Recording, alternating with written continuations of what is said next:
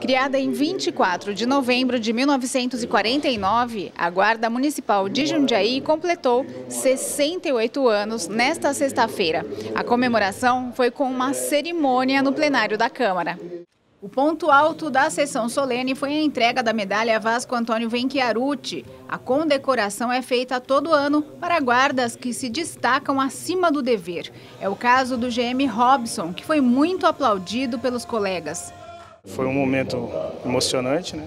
E, e, logicamente que ali, os poucos minutos que nós ficamos ali na frente, passa um filme na nossa cabeça. E de agradecimento que a medalha não é somente minha. A medalha é da, de toda a minha equipe, de toda a minha divisão, que é o apoio tático, e de toda a Guarda Municipal. Pela primeira vez, foi entregue também o diploma do mérito Amigo da Guarda Municipal para pessoas físicas e jurídicas que colaboram com ações da corporação. O comandante, inspetor Moreno, estava feliz da vida com o reconhecimento que a equipe vem conquistando ano após ano.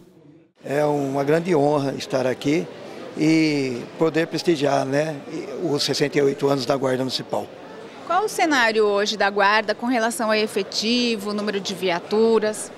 Hoje a Guarda conta com 350 homens, aproximadamente 60, 70 viaturas, é, divididas em, em segmentos de ronda escolar, anjos da guarda, apoio tático, canil, divisão florestal.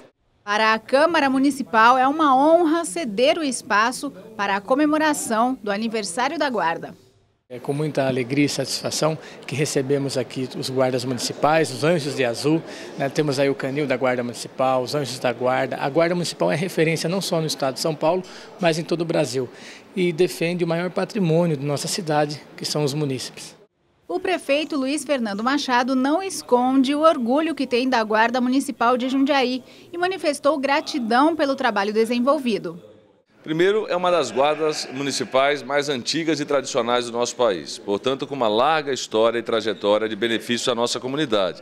Eu tenho um absoluto respeito pelo trabalho que a Guarda Municipal faz em suas diversas ações, desde o apoio tático até a própria, a, o programa Educave, até os Anjos da Guarda, que é um programa exatamente do policiamento comunitário. Então, eu tenho um profundo respeito pela Guarda Municipal, acredito muito que ela contribui com o contexto de segurança, ainda mais do modelo que nós trabalhamos em Jundiaí, que é o da integração. Então, então, estar aqui hoje fazendo parte dessa homenagem e comemoração a mais um ano de existência da nossa valorosa Guarda Municipal de Jundiaí é para mim razão de muita felicidade.